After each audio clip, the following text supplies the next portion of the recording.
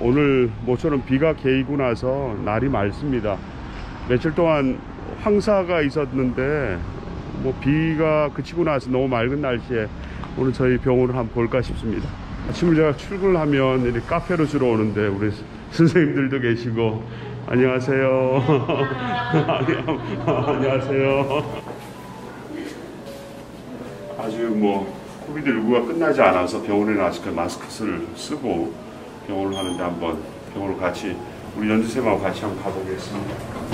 이 병원은 다 이렇게 아무나 들어올 수 있는 곳이 아니기 때문에 이렇게 인증샷이 있어. 아유 제 지문이 안 먹히네. 아 먹겠습니다.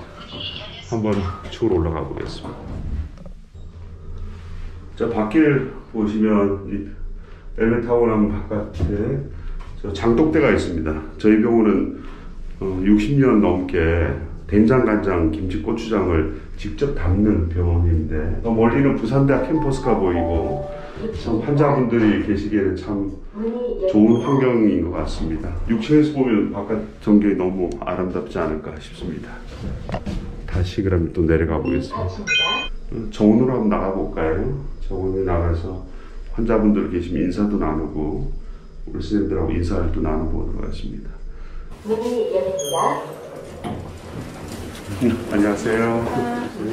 저희가 있는 이 병원의 가장 장점이 예, 정말 좋은 자연 환경입니다.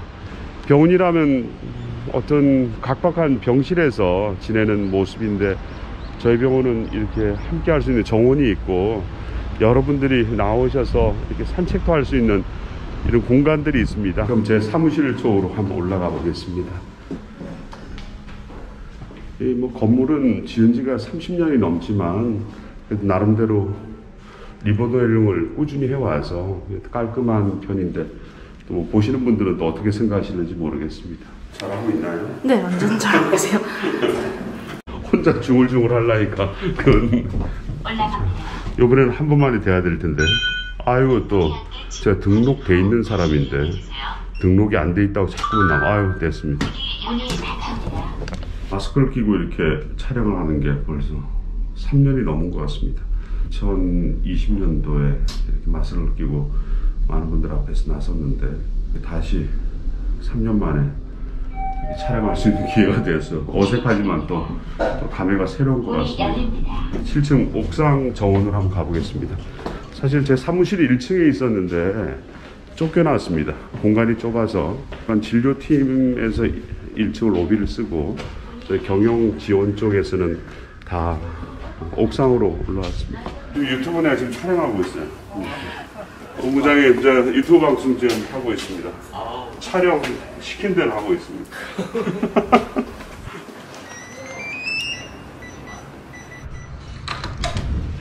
뭐 제 제 방이 뭐 직무실이긴 합니다만 그 손님들 오시면 제 방을 보면 병원장실 같지 않고 무슨 연구실 같다고 그러시는데 아무래도 뭐 제가 출신이 학자 출신이라서 그런지 주로 이뭐 연구하고 직원들하고 논의하는 그런 분위기의 직무실인 것 같습니다.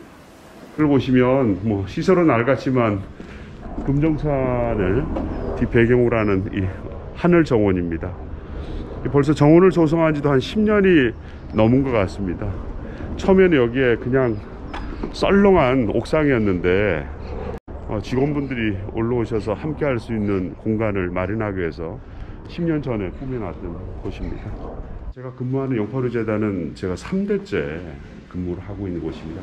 1953년도에 어, 6.25 당시에 나름대로 전쟁에 피해를 입으신 노인분들에게 굶주린 노인들에게 안식처를 제공하기 위해서 시작된 양로 사업을 계기로 해서 70년부터 2000년대까지 복지재단을 했었고요.